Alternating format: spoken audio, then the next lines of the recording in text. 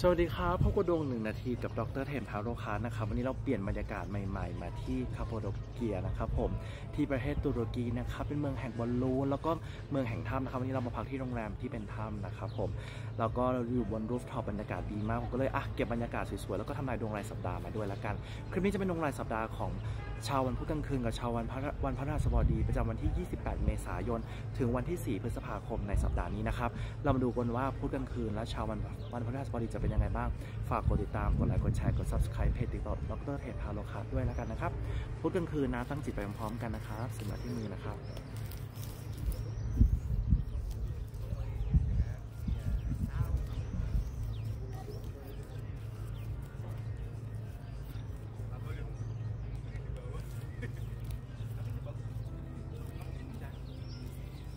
พวกกลางคืนมีเรื่องลังเลใจกังวลใจอะไรบางอย่างต้องเลือกซ้ายหรือเลือกขวาไปต่อหรือพอแค่นี้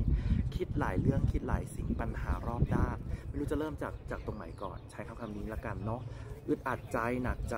นะครับผมแล้วก็ที่สำคัญรู้สึกว่าทุกอย่างมันช้าเหลือเกิน ช้ามากๆเนิบๆบางคนก็เจ้าชู้กุ้มกิ่มก็เกิดขึ้นได้นะสำหรับชาวพุธกลางคืนและมีโครงการที่จะทำอะไรใหม่เริ่มต้นงานใหม่โปรเจกต์ใหม่หรือเดินทางต่างจังหวัดต่างประเทศก็เกิดขึ้นได้ แต่คุณเป็นคนฉลาดเป็น The Magician ทำอะไรก็ตามนะ ต่อให้คุณไม่จบสาขาที่คุณเรียนมา หรือทำอะไรใหม่ๆคุณจะทำออกมาได้ค่อนข้างดีและเป็นที่ยอมรับสำหรับบางท่านคือเกี่ยวกับเรื่องื่องการเรียนต่อหรือการศึกษาก็เกิดขึ้นได้ หรือการรักษาด้วยสมุนไพร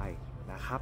แล้วก็จะได้รับความยุติธรรมอะไรบางอย่างด้วยเช่นกันสำหรับผู้กลางคืนนะ แล้วก็ที่สำคัญคือมีเรื่องราวเกี่ยวกับคำว่าพ่อ The Emperor พระจักรพรรดิหมายถึงพ่อหัวหน้า หรือผู้ใหญ่ระดับสูงข้าราชการระดับ 48 49 40 หรือรัฐมนตรีหรือสสนักการเมืองรวมทั้งนายพลอาจจะเกี่ยวข้องด้วยเช่นกันสำหรับพุธกลางคืนนะชาววันพฤหัสบดีนะครับ 28 เมษายนถึงวันที่4พฤษภาคมดูสิเป็นยังไงบ้าง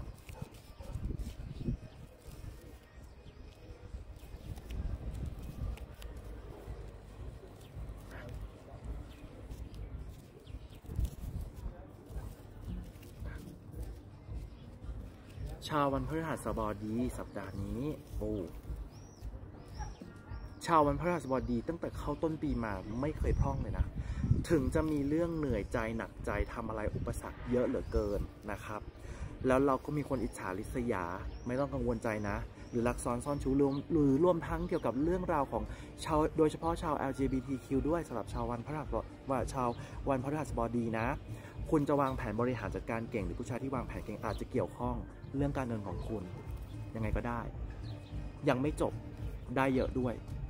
นะยังไม่จบอีกจะมีข่าวดี มีข่าวดีอะไรบางอย่างเรื่องราวดีๆอะไรบางอย่าง และยังไม่จบเดอะซันมาเด็กขี่ม้าขาวมา ความหมายคือไม่ว่าเรื่องการงานการเงินชีวิตความรัก อะไรที่ติดขัด รู้สึกว่าดวงตก สุดท้ายท้ายสุดนะ ชาววันพฤหัสบดีสัปดาห์นี้จะเป็นดวงที่แบบ มันยังไปต่อได้มันยังดีขึ้น ไม่ต้องท้อนะลุยต่อไปครับสำหรับชาววันพฤหัสบดีครับ